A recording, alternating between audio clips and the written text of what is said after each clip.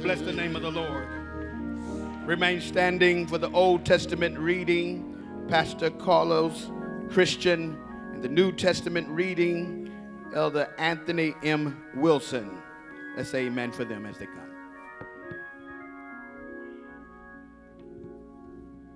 Reading from the number 103rd Psalms.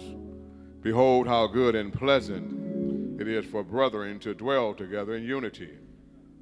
It is like the precious ointment upon the head that ran down upon the beard, even Aaron's beard, that went down to the skirts of his garments.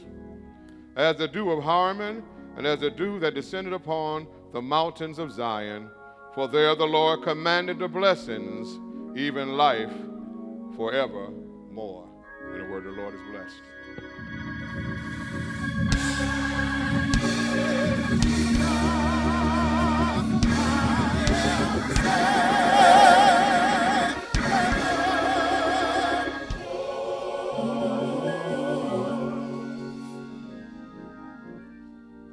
First Corinthians, the 15th chapter, the 51st verse. Behold, I show you a mystery. We shall not all sleep, but we shall all be changed. In a moment, in the twinkling of an eye, at the last trump, for the trumpet shall sound, and the dead shall be raised incorruptible, and we shall be changed.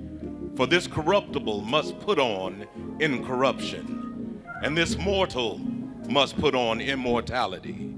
So when the corruptible shall have put on incorruption, and this mortal shall have put on immortality, then shall be brought to pass the saying that is written Death is swallowed up in victory.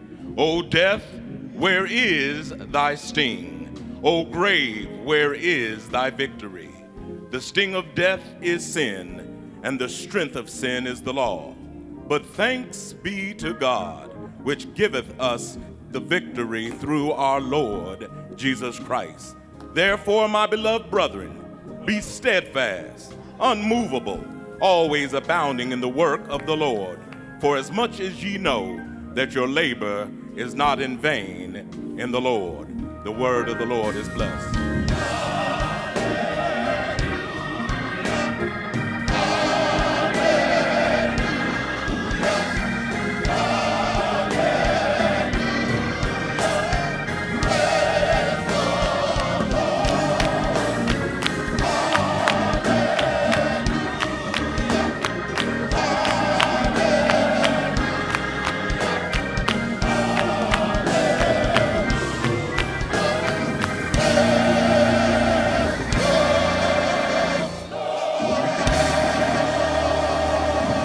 Give the Lord a thunderous applause in here. Come on, lift up your voices and shout glory unto the Lord. Amen. You may be seated in the presence of the Lord.